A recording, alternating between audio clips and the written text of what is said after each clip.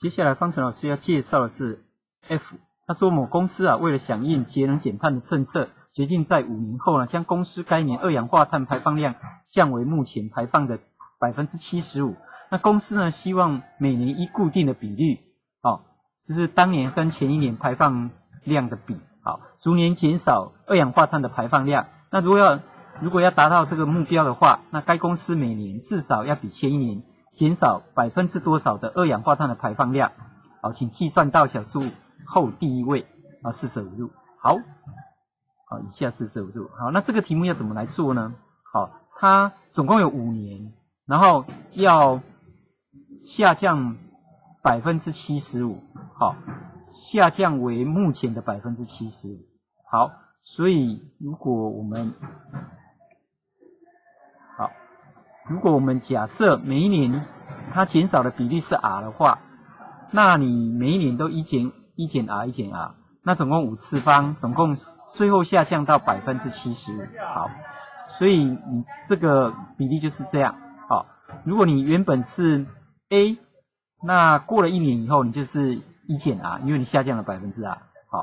那在五年之后，你就会一减 r 的五次方，那百分之七十五乘以 a，a 可以消掉了，所以就是得到这个式子。那我们两边把它取 log 以后，你就会得到这个样子，百分之七十五就是四分之三嘛。那所以呢，你这个可以提到前面来，就是五倍的这个 log 一减 r。那这个是 log 三减 log 四，log 四就是二乘以 log log 二啦，log 二就是零点三零一零，那也就是零点二乘以零点三零一零就是零点六零二零。那如果三四零点四七七一，好，所以这个减掉大概是这么多，就是大概是负的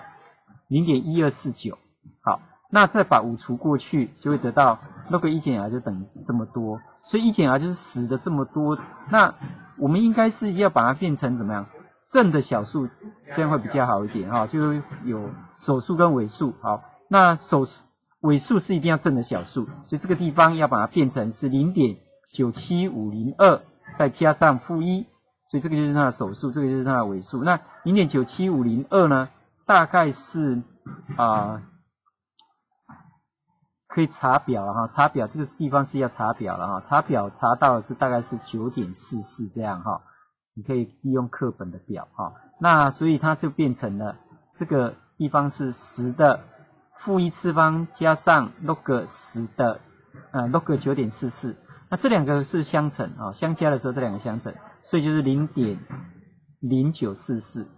啊，零点九四四，抱歉，零点九四四。好，那零点九四四呢，大概是就是这个 log